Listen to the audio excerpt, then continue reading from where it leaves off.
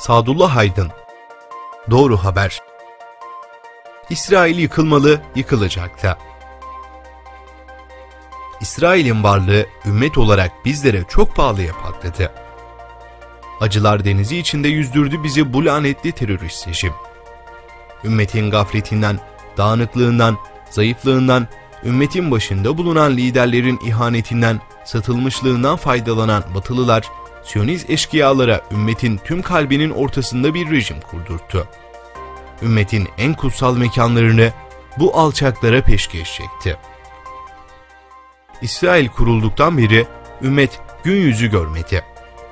En akla gelmedik şeytanlıklarla fesat ve fitne merkezi görevi görerek ümmeti felaketlerden felaketlere sürükledi İsrail ve arkasındaki güçler.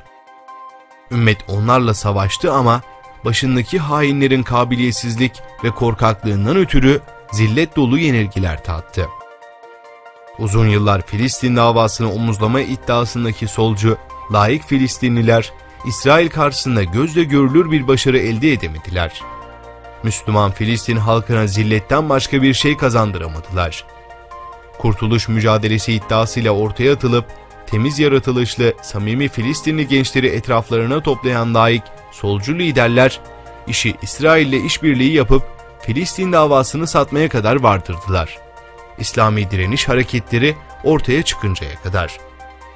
İslami hareketlerin direniş cephesi oluşturmasıyla Siyonist çeteciler gerçek mücadelenin ne olduğunu acı bir şekilde anlamaya başladı. İslami direnişin göz bebekleri olan Hamas'ın ve Hizbullah'ın elinden aldığı darbelerle şaşkına dönen katil çetenin yenilmezlik efsanesi yerle bir olurken, bu çeteyi ümmetin başına bela eden batılı emperyalistler, özellikle Amerika asıl düşmanın, tehlikeli düşmanın farkına vardılar. Batı ve İsrail gerçek düşmanın inkılapçı İslami hareketler olduğunu anlayınca tüm projelerini bu hareketleri gözden düşürmek, zayıflatmak yönünde geliştirmeye başladılar.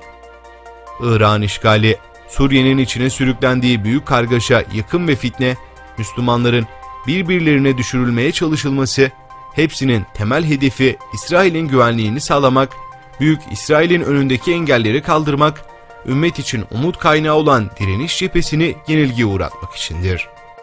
Kudüs işgalcisi Siyonist çete ve ümmetin zenginliğini Amerika'ya peşkeş çeken satılmış Suudi, Amerika'yı da arkalarına alarak direniş cephesine ölümcül darbe vurmayı hayal ediyorlar. Suriye fitnesiyle direniş cephesine gerçekten çok büyük zarar veren İsrail-Suudi-Amerika cephesi bu konudaki başarılarından da cesaret alarak İslam dünyasını büyük bir savaşın içine sürüklemeye çalışıyorlar. Amerika Başkanı yeni atamalarla adeta savaş kabinesini kurdu. Trump'ın yeni ekibi İslam'a aşırı düşmanlıklarıyla, İsrail'e yakın dostluklarıyla bilinen 15 Temmuz'da darbecileri destekleyen isimlerden oluşuyor. Bu eşkıyaların unuttuğu bir şey var. Karşılarında 1940'lı, 50'li yılların korkak, satılmış liderleri hareketleri yok. Allah'a sevdalı, Kudüs'ü kurtarmak için ölüme gülümseyerek koşacak olan Muhammedi bir ümmet var. Tüm fitnelere, karmaşa ve kaosa rağmen her geçen gün vahdete doğru adım atan, cihat aşkıyla bilinen bir direniş cephesi var. Ümmetin İsrail'i yıkmaktan başka çaresi yok. İsrail yıkılmalı, yıkılacak da. Kudüs'ün özgürlüğüne kavuşacağı günler çok yakındır. Bunu bizden sonraki nesiller değil, biz de göreceğiz inşallah. Türk'ü, Kürd'ü, Arap'ı ve Fars'ıyla ümmet omuz omuza verirse, vahdet ve uhuvvet silahına sarılırsa hiçbir güç onu yenemeyecektir.''